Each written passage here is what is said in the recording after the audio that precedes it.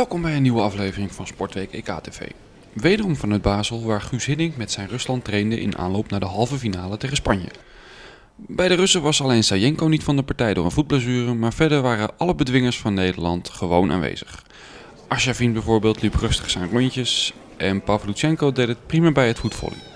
En Hiddink, hij zag ondertussen dat het goed was.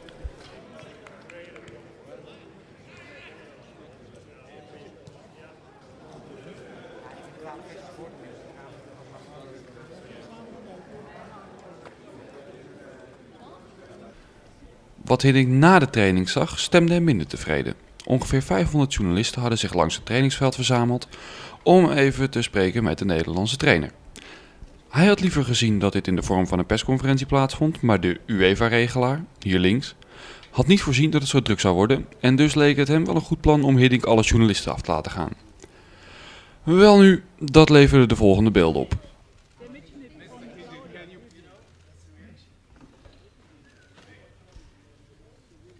Okay, two minutes. Can you just wait for Danke, danke, danke. Nee, das ist doch. Da kann man doch nicht arbeiten. Die können doch nicht so arbeiten. Just one second, please. Ja, das ist una vergüenza trabajar así. Is wat een, uh, maar een aandacht, maar een beetje te veel.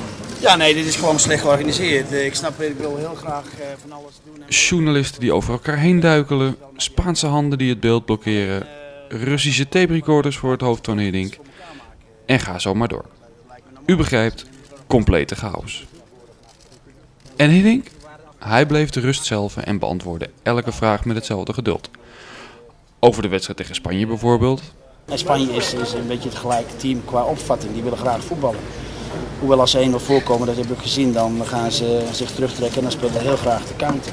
Het zijn beide heel speelse teams, dus dan kun je ook geen, eh, geen voorspelling doen.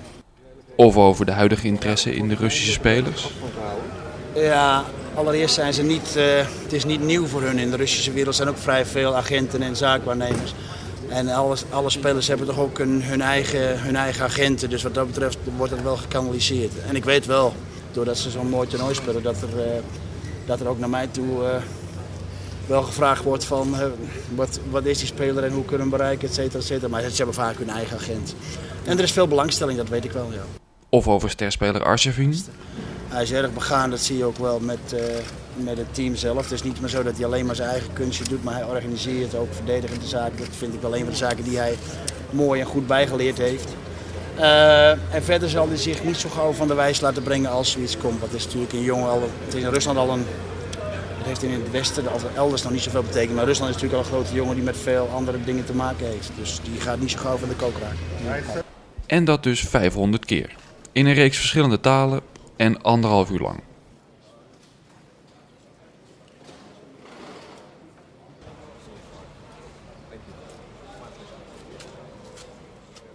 Totdat iedereen aan de beurt was geweest. Pas toen vertrok Hiddink naar het hotel.